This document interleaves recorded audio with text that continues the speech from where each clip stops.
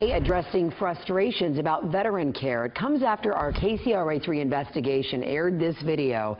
It shows a Navy vet collapsing at the Sacramento County Emergency Room, waiting minutes for any help. Tonight, even VA employee is sharing her criticism. They really don't listen to anyone. And it breaks my heart when you see the way the vets are being treated.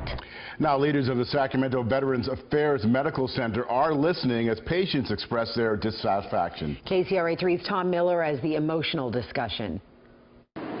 The very service members the Sacramento Veterans Affairs Medical Center is supposed to care for so they aren't getting the help they need. While I'm waiting to see a doctor that's not expecting me, I'm listening to hear and hearing other veterans that are being delayed a couple months out for any type of care. In Steve Fehrenbacher's case, the KCRA 3 investigation showed video of him collapsing outside the VA's emergency room in July.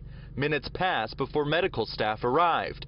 Since then, Fehrenbacher believes he's been bumped to the top of the care list. The point is for us to, well, not to be on a list, to all get our care when we need our care and get proper care. The Northern California VA director says service is improving, noting wait times for appointments of more than 30 days have dropped from 4.8% in March, the worst in the state, to 3.9% in September. Being able to provide timely care relieves the stress, also provides timely intervention if that's going to be helpful in the care of a patient. However, a woman we spoke with who works here in admin support says she's blowing the whistle. I'm embarrassed to tell people I work for the VA. Wearing a hoodie to protect her identity, she says care remains inadequate.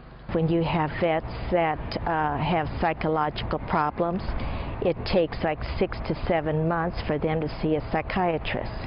And by then, they've done something hurt someone or committed suicide. Your husband is a veteran himself. Yes. Does he go here for service? No way on earth. Uh-uh. And why not? Because I don't, he wouldn't get the care that he should have.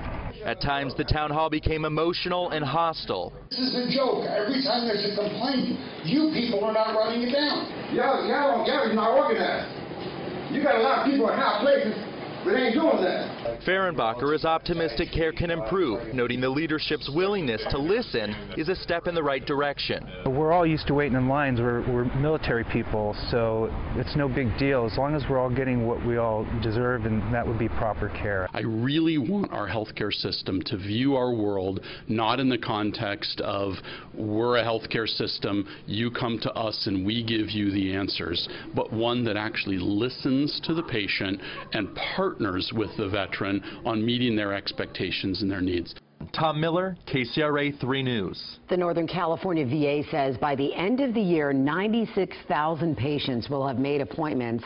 That's up more than 6,000 from 2013. To deal with the influx, it hired about 300 additional workers this year alone.